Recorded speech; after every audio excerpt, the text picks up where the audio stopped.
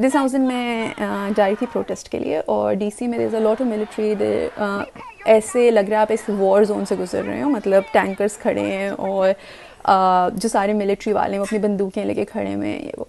तो एक जिस तरह से ब्लॉक है जो वाइट हाउस के बिल्कुल पास है और वहाँ पे यूजली कोई गाड़ियाँ वगैरह नहीं होती तो जैसा मैं जब वॉक करके जा रही थी तो मैं उस ब्लॉक से गुजरने लगी।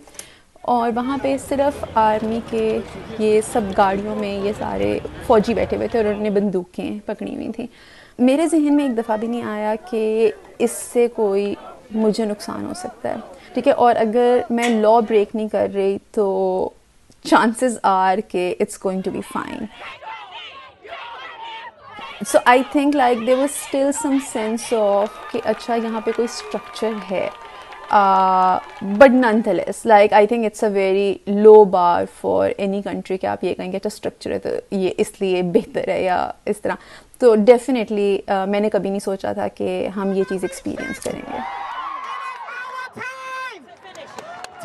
बहुत ही यूनिक मोमेंट है uh, तारीख में जब इकोनॉमिक पॉलिटिकल और रेसिस्ट क्राइसिस एक साथ आए हैं। राइट बिकॉज़ यूजली होता है क्या कि हमारे जो अफ्रीकन अमेरिकन नेबरहुड्स हैं अफ्रीकन अमेरिकन कम्युनिटीज़ में हैं ये चीज़ें चलती रहती हैं मगर बिकॉज़ बाकी मा, माशा ऐसा ही चल रहा है चलते जा रहा है तो इसमें किस, किसी को लगता नहीं है कि आगे आकर इन लोगों के साथ हमने सॉलिडारिटी दिखानी है। Ultimate idea is कि we want a better society. We we want a fairer society or a just society.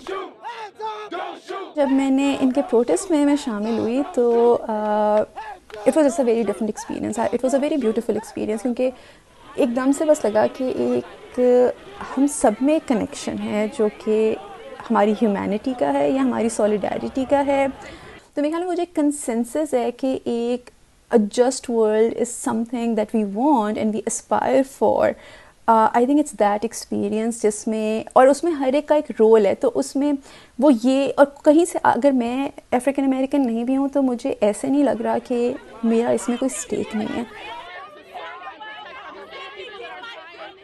इस दफ़ा जो हम देख रहे हैं प्रोटेस्ट और एहतजाज इसकी बहुत सारी रीजंस हो सकती हैं। एक तो है सोशल मीडिया मेरे ख्याल से जो कैमरा है, जो पुलिस बॉडी कैमरास हैं और आईफोन्स हैं और आपके जो स्मार्टफोन्स हैं, उन्होंने सियाफी जानों के लिए ज़्यादा किया है। और ये सिर्फ़ मैं नहीं कहती, ये ये जो हमारे पॉलिटिकल साइंटिस्ट हैं, जो हमारे इकोनॉमिस्ट हैं, जो इस चीज़ को पढ़ते हैं, वो कहते हैं कि जो हमारे रिफॉर्म्स हैं, उससे ज़्यादा हमारी जानें बचाई गई हैं just by recording police brutality कि जो हमारी यहाँ प्रॉस्पेरिटी है as as a scholar as student over here मैंने बहुत सारी चीज़ें पाई हैं, बहुत सारे फ्रीडम्स पाए हैं।